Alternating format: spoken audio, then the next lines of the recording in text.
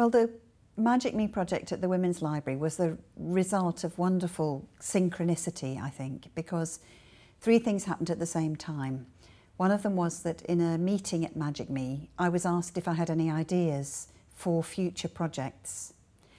And it so happened that not long before that, I'd picked up a leaflet about the opening of a new building called the Women's Library, which was going to hold a lot of uh, wonderful resources about women's history in the UK.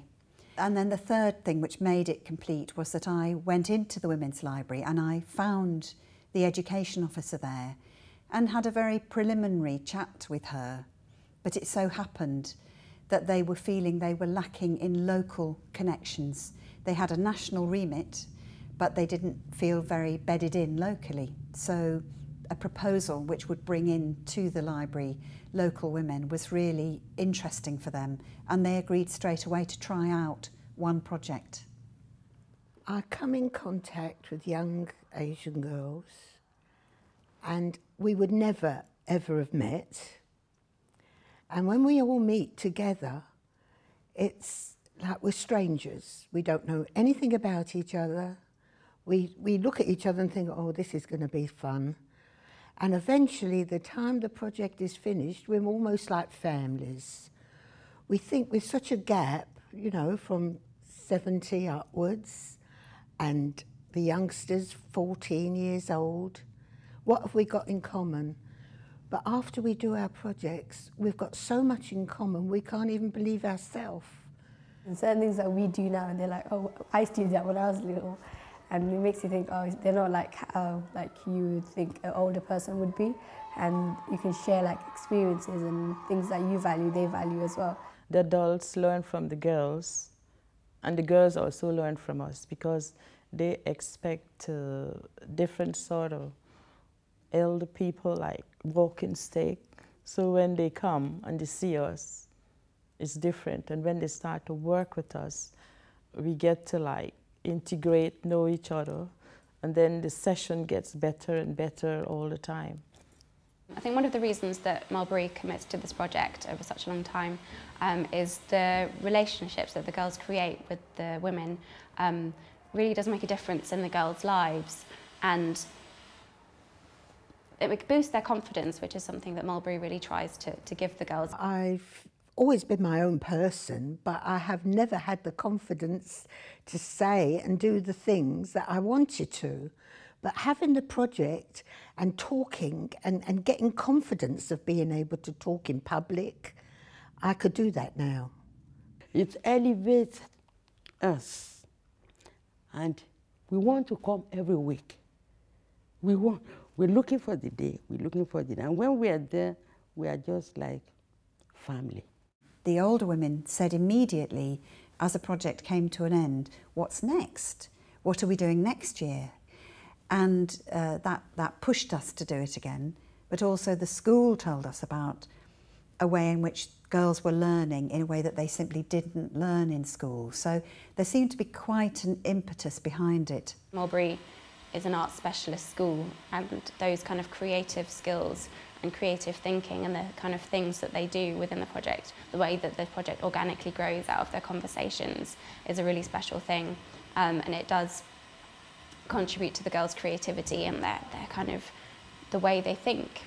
Finding a, a piece of territory, a piece of common ground for women of different ages was extraordinarily rich and from the beginning really of the project the young women and the older women talked about things I hadn't heard people talk about in intergenerational work before. When you are in a different place, like the Women's Library, you like, um, it's like a neutral place. It's not like, oh, I'm at school, I have to do, I have to follow rules. You can be open about it. It was great to see that there was a place just that was solely dedicated to the works and the history of women. The place had an atmosphere which was historical because it used to be a wash house many, many years ago. And the people and the things we read in the library, the suffragettes and what they went through, it seemed to give us power. Remember about the Greenham women and how they protest for to stop the nuclear plants going on. and that makes that kind of inspires me because I I've, I've never done anything like that or seen anyone do it, and that kind of makes me think, hey, I want to do that in the future as well, be like part of a woman's history. Although I like to think I know about women's history and um, feminism, actually doing this project and seeing the girls hear about people like Mary Wollstonecraft and the Greenham women for the first time, it always it adds something to my understanding because it's much more real. It's not just reading about it in a book, it's seeing it change a young girl's perspective on the world. And that's a really powerful thing. I remember going to the library and looking at the books about the suffragettes. Now, I never voted in my whole life, but when I saw what happened and what the suffragettes did for women's rights, that is now a thing I must do. I remember uh, one quote from Mary Wollstonecraft. She said, um, I do not wish to have power over men, I wish to have power over ourselves. And she was saying that about women. And when she says that, it makes you realize that when we try to achieve equality for women, it's not saying, oh, we want to be better than them. It's just saying that we want to be in the same level as them and achieve the same thing as. And we have done that so far and we're getting there. I will not be tamed. I will break free. I will not let you be hardened. In one hand, I shall keep you safe. With others other, I will push you forward. At last, we did it. Women are free. We are free, thank God. The project really taught me that being a feminist isn't about hating men. It's not about hating someone. It's about it's just about wanting equality for everyone, and uh, that, that's great. And I think now I will definitely I, won't be ashamed to say that I'm a feminist. I think it's quite, I think it's quite a great thing, and everyone should be a feminist. And I think I'm certainly a feminist now. Projects have finished with visual work, filmed work, audio, live performance, a real variety. But about halfway through the project, we began to invite the audience to come and have tea with us at the end. I think actually in this work, some kind of conversation with the makers and a chance to witness the made, they really come together because who the people are who made the work makes it sing more clearly. Those conversations that happen are really valuable um, and that's kind of part of the, the art of the project is the conversations are part of the art and the conversations with, between the girls and the women and the audience in the performance as well um, a part of the art of it. I thought the conversations were beautiful. Um, great, great stories. Um, and just the addressing the similarities between superficially very different, 14 very different people.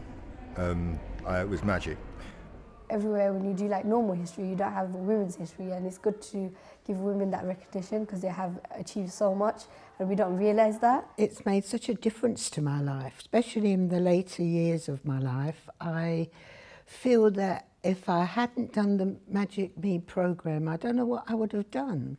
When I'm with the girls, it just lighten me up because they're all different and they ask different questions, these girls from the women's library.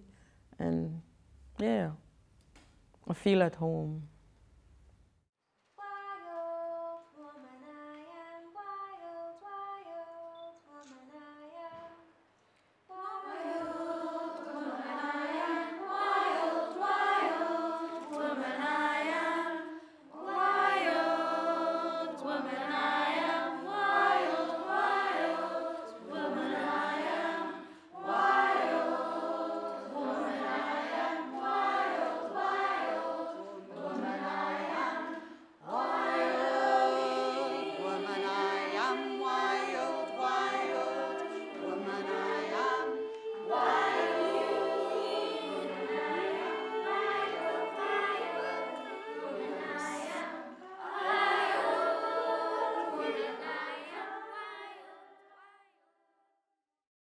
Wish you all well and thank you all. our photographer, our film, our director, our teachers, our everybody. We thank you all. Thank you. I really enjoyed it.